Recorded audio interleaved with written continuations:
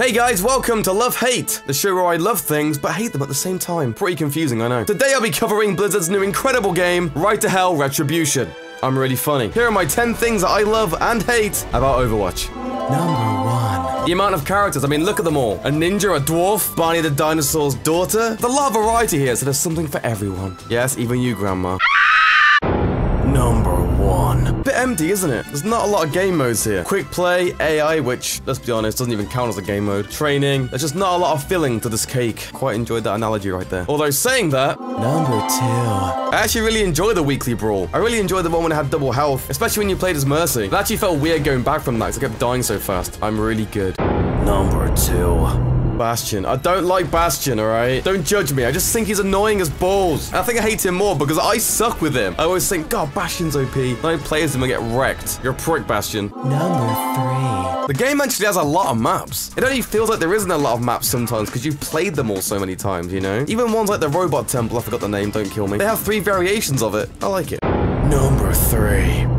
Now, this is a personal hate, so feel free to defend it, but it's on so many platforms. Now, why is that a bad thing? Well, I'm a selfish prick, alright? I'm also a console peasant, so I play on Xbox One. My best friend plays on PS4. My brother who plays, plays on PC. A lot of my friends play on PC. If it was Xbox exclusive, it would force people to buy an Xbox, hence I'd have more people to play it with. That was the most selfish thing I've ever heard in my life. Number four. You can change your characters whenever you want. Getting destroyed as Widowmaker, just change to Zenyatta. Getting your ass beat as Bastion, then stay as Bastion because he's really OP. Again, though, I say that Number 4. Because of the character changes, your team comp can get messed up pretty easily. For example, sometimes I'll just fill the role. I like playing offensive or playing as support. Let's say both of those are gone, so I go for a tank, right? Then later in the game, you're just like, where the hell's my healing? Why am I not getting healed? Then you look and the Mercy who's on your team has swapped to a fucking Widowmaker. It's a blessing and a curse. More of a blessing, but a slight curse. Number 5. Skins! There's a lot of skins! And I don't mean the TV show. I really like the Soldier 76 skin as well. The Origins one when he's young and cool and not looking like he's gonna break his hip every ultimate. Not to mention all the color swaps. However, number 5. But I hate this skin. 15 year old Tumblr user. Number 6. All the unlockables and the loot boxes. I love opening loot boxes, man. Gets me so excited, so riled up, so not hard. There's a lot of unlockables as well, the tagging and the hero thingy majigs that I quite enjoy. So for the most part, you always get something new every time you open a loot box. However, number six the unlockables and the loot boxes. Sometimes you get dick and you only get one every time you level up. And they're pretty expensive to buy as well. It's really annoying when you buy 10 and you get fuck all. But that's life, huh? Number seven. It kicks people really fast from the game, which I really enjoy because a lot of people do go AFK. Someone's at their door, they need a shit. Because I feel like people join pretty quick after they get kicked, you know? There's nothing more frustrating than playing a game and your teammate is AFK fingering his bumhole or something. It's really frustrating that I'm not there doing it for them.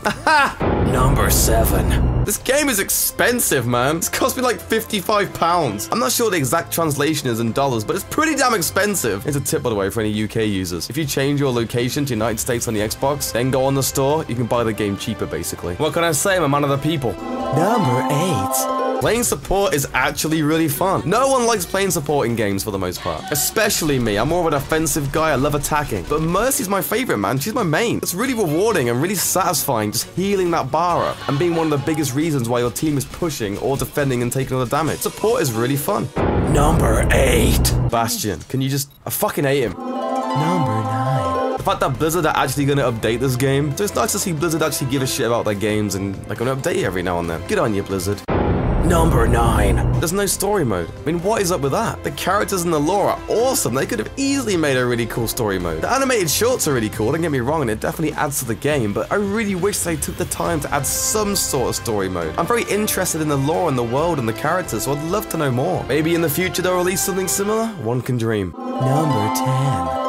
This is the big one, and it's just how good it feels to play. And again, I'm playing controller, so I can't really say anything for the mouse and keyboard, but the way the characters move, the way you aim, just everything about the game is so satisfying. And I'll be lying if I'm not a total fanboy right now. I really wasn't expecting much from this game. I figured, oh, overhyped Blizzard game, whatever. But it's really captivated me, and I've really, really enjoyed playing it. Number 10 the fact that I'm so addicted to this game. And there you have it, the things that I love and hate about Overwatch. I love the game, I'm very impressed Blizzard, and I can't wait to fly around as Mercy and fill people's bars up. Thanks for watching, I'll see you next time.